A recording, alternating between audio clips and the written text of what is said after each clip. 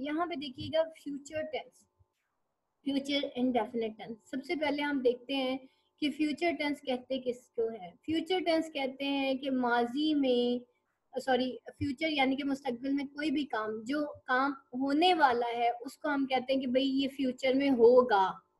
ठीक है? तो इस वजह से हम इसको फ्यूचर टेंस कहते हैं। और फ्यूचर टेंस अगेन वही पहले हम फ्यूचर इंडेफिनेट टेंस पढ़ेंगे, फिर हम फ्यूचर कॉन्टिन्यूस टेंस पढ़ेंगे। फिर फ्यूचर परफेक्ट टेंस पढ़ते हैं और फिर फ्यूचर परफेक्ट कंटिन्यूस पढ़ते हैं। और क्योंकि अब हम पास्ट सारे कर चुके हैं पास्ट और प्रेजेंट तो इसलिए हमारे लिए इंशाल्लाह ये भी मुश्किल नहीं होगा। फ्यूचर इंडेफिनेट में कर, देखते हैं in this kind of tense as an an act is about to perform in future time कोई ऐसा काम जो फ्यूचर टाइम में, यानी कि मुस्तकबिल में कुछ होना होगा और in the future about which we don't know या ऐसा कोई काम जो हम जानते नहीं है the exact time either it happens in the day और द नाइट कि वो कब होगा, कि रादर वो दिन में होगा, रात में होगा whenever so it is future indefinite तो इसलिए इसको फ्यूचर इनडेफिनेट कहते हैं, क्योंकि हमें एग्जैक्ट टाइम का पता नहीं होता कि वो काम कब होगा। As the word indefinite indicates that we are not sure about a thing क्योंकि indefinite में हमें ये पता चलता है कि हम उस चीज़ के बारे में श्योर नहीं है। इसकी पहचान देख लेते हैं। उर्दू में जुम, जुमले के आखिर में गा गी गे वगैरह आते हैं। नंबर दो इन जुमलों में वर्ब की पहली फॉर्म का इस्तेमाल होता है। विल के साथ हमेशा याद रखिएगा जहाँ पे भी विल आएगा ना वहाँ पे वर्ब की फ़र्स्ट फॉर्म स्टार्ट लगेगी। और इमदादी फेल यानी कि हेल्पिंग वर्ब आई वी के लिए शेल जबकि he she it they you के लिए विल इस्तेमाल होते हैं। ठीक है? आई और वी के लिए हमेशा शेल यूज़ होगा। और बाकी जितने भी हैं he she it they you इनके साथ विल इस्तेमाल होता है। मनफी जुमला बनाने के लिए इमदादी फेल जो है, यानी कि नेगेटिव बनाने के लिए हम क्या करते हैं? विल और शेल के साथ नॉट लगा देते हैं। विल नॉट ठीक है, और उसके साथ हेल्पिंग वर्ब उसके बाद सवालिया जुमला बनाने के लिए विल और शेल शुरू में आ जाता है और आखिर में सवालिया निशान।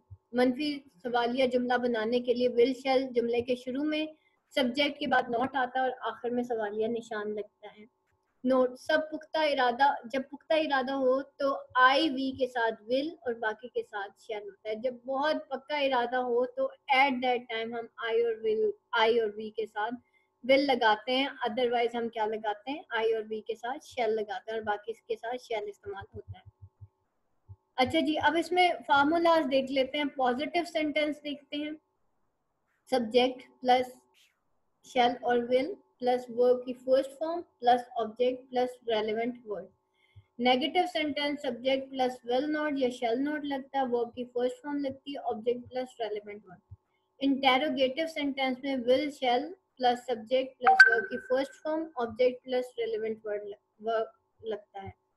उसके बाद नेगेटिव इंटेरोगेटिव सेंटेंस में will shall plus subject plus not plus verb की first form plus object plus relevant word लगता है. जैसे आमना आम खाएगी, Amna will eat mango Ali school जाएगा, Ali will go to school हम मरी सैर को जाएँगे वी शल अब क्योंकि ये जो है वी आ गया है तो आई और वी के साथ क्या लगेगा? शल लगेगा. तो हम मरी को जाएँगे we shall go for go for visit to Murree. मैं अपना कमरा साफ़ करूँगी। I shall clean my room ठीक है? आमना ज़रूर फिर से गलती नहीं करेगी। अब क्योंकि ज़रूर आ गया है तो आमना के साथ शेल लगेगा। जब ज़रूर का वर्ड आ जाता है ना तो विल और शेल आपस में इंटरचेंज हो जाते हैं। वैसे आई और वी के साथ शेल लगाते हैं और बाकियों के साथ विल लगाते हैं, लेकिन अगर ज़रूर की बात आ जाए तो ये इंटरचेंज हो जाता है। यानी कि Amna shall not do any mistake again Amna ज़रूर फिर से गलती नहीं करेगी। Amna shall not do any mistake again हम ज़रूर एक तस्वीर बनाएँगे।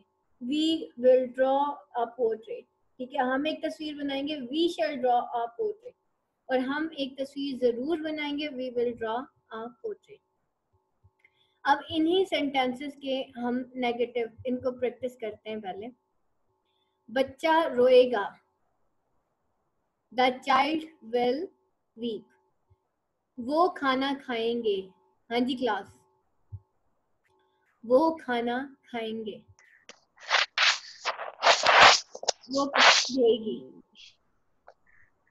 she will wash the clothes वो she will she will write a story हम अपना काम मुकम्मल करेंगे। We shall complete we shall complete या we will complete our task? शल आता है ना? Shall.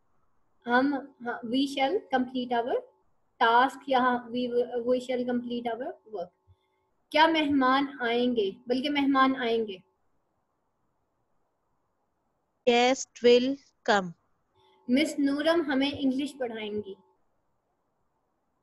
miss Nooram will teach us english क्या वो सच बोलेगा वो सच बोलेगा he will speak truth वो खाना खुद पकाएगी she will cook food uh, your itself herself herself कल छुट्टी होगी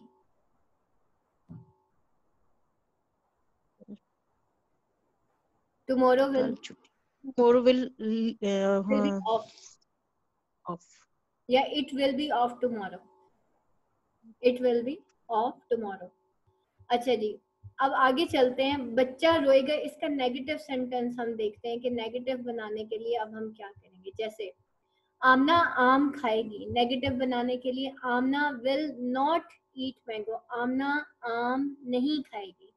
Amna will not eat mango Ali school नहीं जाएगा। इसका नेगेटिव बनाए Ali school ali will not uh, go, go to school. शाबाश। हम मरी सैर को नहीं जाएँगे। We shall not go for visit to Murray. हम अपना कमरा साफ़ मैं अपना कमरा साफ़ नहीं करूँगी। आई विल नॉट आई और सेल लगा। I I shall not clean my room. शाबाश आमना ज़रूर फिर से गलती नहीं करेगी। अच्छा ये तो आमना- हाँ। ये तो नेगेटिव ही। हम ज़रूर एक तस्वीर नहीं बनाएँगे। We will not draw a portal. अच्छा जी क्या आमना आम खाएगी? अब क्या होगा? विल शुरू में will will amna eat mango? क्या अली स्कूल जाएगा? Will Ali go to school हाँ क्या हम मरी को जाएँगे? Shall we go to visit to Murree क्या हम अपना कमरा साफ़ क्या मैं अपना काम कमरा साफ़ करूँगी? Shall I no shall I clean my room क्या बाय क्या आमना ज़रूर फिर से गलती करेगी?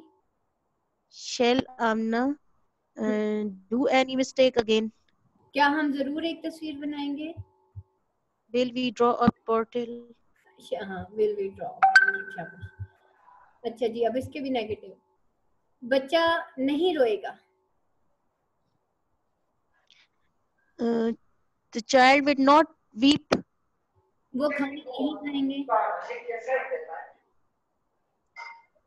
वो खाना नहीं खाएँगे they will uh, will they not eat वो खाना नहीं खाएँगे We- they will not take meat take वो कपड़े नहीं धोएगी she will not wash clothes क्या वो कपड़े धोएगी She will not wash. हाँ क्या वो कपड़े धोएगी uh, will she hmm, cloth